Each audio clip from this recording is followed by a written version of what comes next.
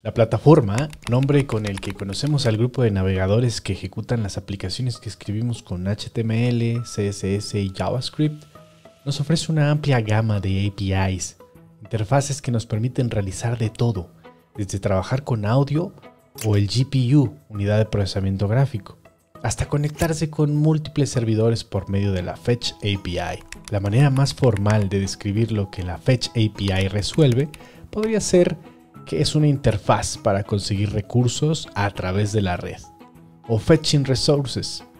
Es importante no confundir la Fetch API con lo que se conoce como Ajax, que curiosamente tampoco es el nombre adecuado, pues Ajax es metodología, no tecnología. Te dejo un link por si quieres saber más.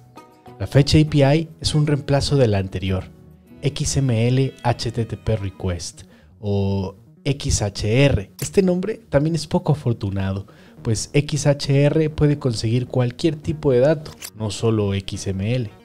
La Fetch API nos ofrece una interfaz moderna y simplificada, que solo utiliza un par de objetos, request y response. Aprender a utilizar la Fetch API es muy buena inversión en capital intelectual.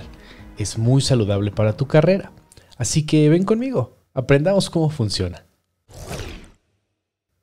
¿Cómo funciona Fetch? Fetch es un método global. Eso significa que está disponible en el entorno de ejecución de todos los navegadores compatibles, que son prácticamente todos, incluyendo a Node.js. Esta amplia compatibilidad es justo lo que la convierte en una herramienta muy importante.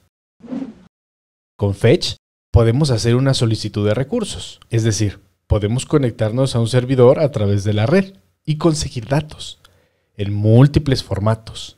Incluso se puede realizar conexiones semipermanentes con WebSockets. El método fetch toma un argumento obligatorio, la ruta de acceso del recurso. Fetch devuelve una promesa o un promise que se resuelve en un response. Aunque exista un error, siempre se recibirá un objeto response. Fetch es configurable a través de un segundo parámetro, un objeto donde se pueden configurar las cabeceras de la petición. Para entender mejor esto, yo suelo imaginarme que la comunicación que se realiza con Fetch se hace intercambiando cajas cerradas, como en un intercambio de regalos. No sabes qué traerá dentro el tuyo, pero sabes que recibirás uno. Esta es también la diferencia principal entre Fetch y el jQuery.ajax. Con Fetch siempre recibiremos un response. Una vez que la promesa se resuelve en response, es momento de enfrentarnos al mundo de los tipos y las estructuras, pues existe una amplia gama de opciones para definir el contenido del body o el cuerpo del response. Podemos recibir blobs, streams o form data. Podemos decir que esta API hace una abstracción de HTTP hacia objetos JavaScript, haciendo fácil usar este protocolo. Pero por ahora, vamos despacio para disfrutar el paisaje.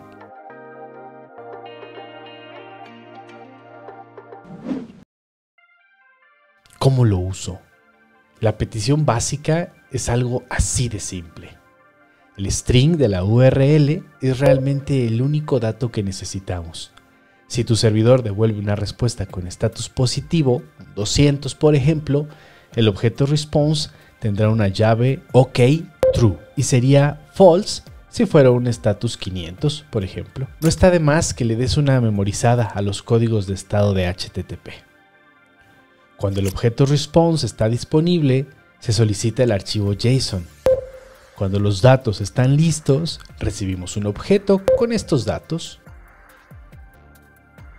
Esta puede que sea una de las razones del por qué cuando somos principiantes preferimos usar herramientas de más alto nivel para evitar este pequeño paso de extracción del JSON a partir de un objeto response. Pero hey, Fetch es tan importante en la web que vale la pena no abstraerla de tus habilidades.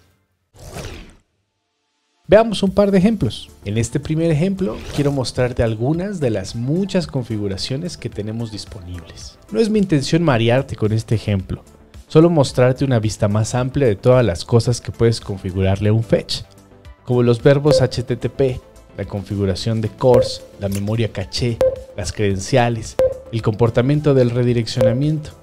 sin lograr incluir en esta descripción todas las cabeceras que podemos usar. Pero te dejo un enlace. Pero para no quedarnos con las ganas de tirar algo de código y mirar más de cerca a Fetch, vamos a consumir una API pública que devuelve los personajes de la caricatura gringa de moda, Ricky Morty.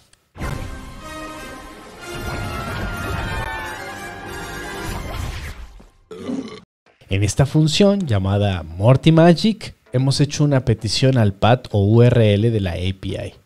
Esperamos el objeto response para luego esperar los datos en formato JSON. Una vez que ambas esperas han concluido, estamos listos para trabajar con los datos que vienen en el cuerpo de la respuesta. Las llaves que traiga dentro, como en este caso results, van a depender del autor del API y de sus objetivos particulares. Nosotros hemos usado la imagen del personaje que se incluye en los datos para llenar el navegador de seres multidimensionales. Aprender a utilizar la Fetch API solo con JavaScript es una gran apuesta para tu futuro profesional. Además te da una visión más amplia de cómo funciona la web que si aprendieras primero a través de un framework. No dejes de decirme si te gustaría aprender más a fondo la Fetch API o si te gustaría verme construir una app real con esta API. Yo feliz. Y ya está. Yo soy Héctor Bliss, esto es Fixter Geek y nos vemos en el siguiente.